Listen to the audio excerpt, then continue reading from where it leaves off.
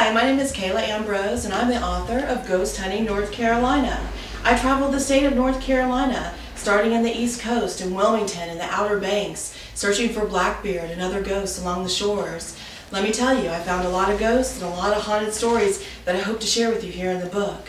Next, I went to the Piedmont. I was in the most haunted capitol in the country, which is right here in North Carolina in Raleigh. I spent the night there with a team of researchers and found a governor who still haunts the capitol, and you can read all about it.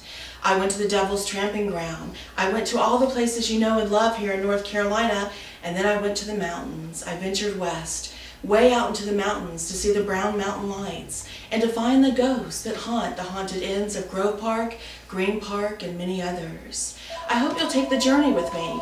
My publisher is Clerisy Press, and they do a program called America's Haunted Road Trip. Each book, welcome, come on in, we see a ghostly door opening right now.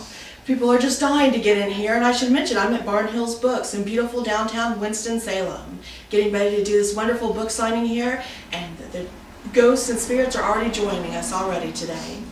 So as I traveled, like I said, America's Haunted Road Trip, it's a book where you can find out with maps and travel information how to go visit all these places. Every place in the book is a publicly accessible where you can visit and do ghost hunting for yourself. Don't take my word for it. Go there and find out yourself if the ghosts are active and what they have to say. I did what I could using my abilities to find out how haunted each place was, and I share with you what, ex what experiences I had uh, at each place that I visited. Some literally made my hair stand on end. Others were quieter, but I still don't say they're not haunted because I interviewed lots of different people to find out their stories as well.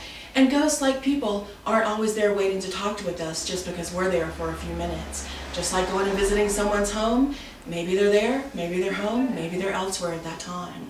So take the journey with me. Join me on Ghost Hunting North Carolina. And if you'd like more information, you can always go to ghosthuntingnorthcarolina.com with information about where I'm traveling and touring and where people all around North Carolina and around the country are sharing ghost stories of their own. Everyone's got a story to tell. I bet you've got a ghost story of your own to share, and I hope that you come on there and share it with me. And if you're here in beautiful Winston-Salem, North Carolina, I'm here signing books. There's books here, and they'll be signed by me where you can pick them up. Come on in and share. They're haunted, they're haunting, and they're waiting for you. Ghost Hunting North Carolina, Barnhill's Books.